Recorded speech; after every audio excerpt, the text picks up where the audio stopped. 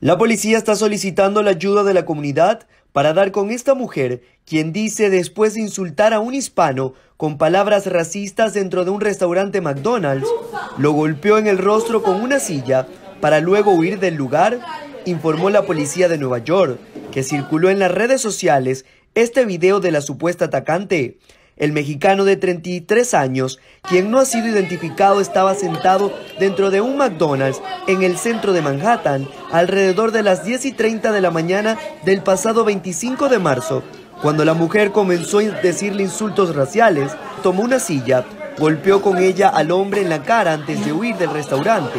Después la atacante intentó ingresar a una estación del metro, pero no pudo, según también destacó la policía.